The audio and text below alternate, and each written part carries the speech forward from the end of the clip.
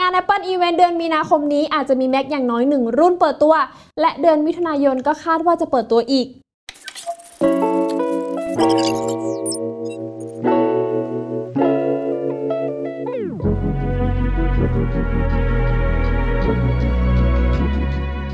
สวัสดีค่ะ พลอยเอมดนะคะ เกิร์แมนเขาก็ได้รายงานข้อมูลว่าปี 2022 นี้ จะเป็นปีที่ Apple เปิดตัว Mac หลายรุ่นด้วยกันค่ะ ซึ่งก็จะเริ่มเปิดตัวในงานอีเวนต์ที่ลือว่าจะจัดขึ้นในวันที่ 8 มีนาคม 2022 นี้ก่อน โดยเกอร์แมนเขาก็ได้เผยรายชื่อ Mac รุ่นที่จะเปิดตัวไว้ดังนี้ค่ะ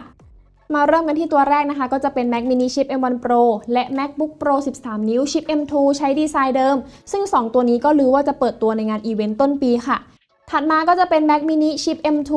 iMac 24 นิ้วชิป M2 MacBook Air ชิป M2 ดีไซน์ใหม่ iMac Pro ชิป M1 Pro และ M1 Max และปิดท้ายด้วย Mac Pro ชิป M1 Max ที่ตัวเครื่องจะดีไซน์ให้เล็กลงค่ะสำหรับงานอีเวนต์แรกนั้นนะคะ ก็คาดว่า Apple จะเปิดตัว MacBook Pro 13 นิ้วชิป M2 ที่จะใช้ดีไซน์เดิม แล้วก็จะมี Mac mini ชิป M1 Pro อีกหนึ่งตัวค่ะ หลังจากที่งานอีเวนต์เดือนมีนาคมผ่านไป Apple ก็จะเริ่มทยอยเปิดตัว Mac รุ่นใหม่ อย่างงานถัดไปก็จะเป็นดับดับ DC 2022 ที่จะจัดขึ้นในเดือนมิถุนายนนี้ค่ะ ซึ่งก็จะเน้นไปที่ Mac รุ่นสเปคระดับโปรนะคะ อย่าง iMac Pro และ Mac Pro ที่จะมาพร้อมชิป M1 Max ทรงพลังตัวใหม่ค่ะ โดย Apple เขาก็ได้เคยเปิดตัว Mac ในงานดับดับ DC มาแล้วนะคะ อย่าง iMac Pro ที่เปิดตัวไปเมื่อปี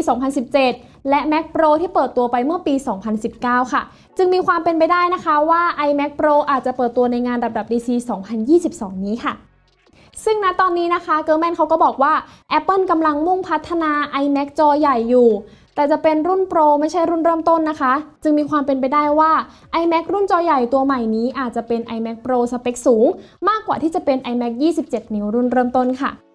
ด้านสเปคของ iMac Pro นะคะ ก็มีข่าวลือว่าจะใช้ชิป M1 Max รุ่นอัปเกรด แล้วก็ใช้หน้าจอ Mini LED รองรับโปรโมชั่น 120Hz ค่ะ มีสี Space Gray และสี Silver เหมือนกับ MacBook Pro นะคะ ซึ่งปัจจุบันนี้ Apple ก็ได้เลิกขาย iMac Pro รุ่นแรกไปแล้วค่ะ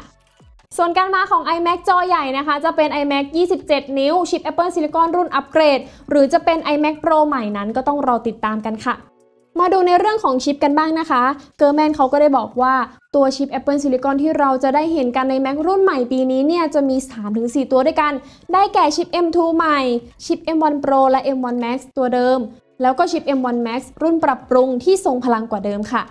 โดยรายงานระบุว่าชิป M2 จะเร็วกว่าชิป M1 นะคะ แต่ยังใช้จำนวน CPU Core 8คอเท่าเดิม และใช้ GPU Core ที่อาจจะอัปเกรดไปเป็น 8 9 หรือ 10คอค่ะ และในส่วนของชิป M1 Max สำหรับ Mac ระดับโปรนั้นก็อาจจะมีการอัปเกรดคอเพิ่มขึ้นเช่นกัน โดย CPU Core อาจมี 40 คอ